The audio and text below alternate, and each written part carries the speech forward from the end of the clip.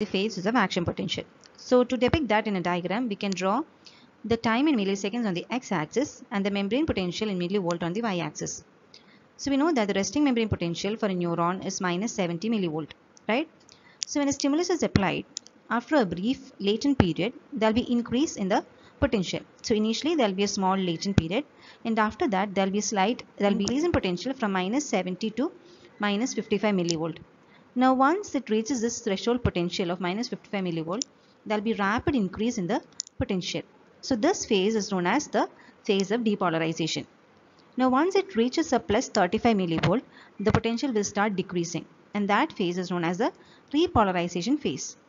Once the repolarization phase is reached, the the potential will continue to decrease even after the resting membrane potential and that phase is known as after hyperpolarization. And after this stage, the membrane potential will come back to its resting membrane potential.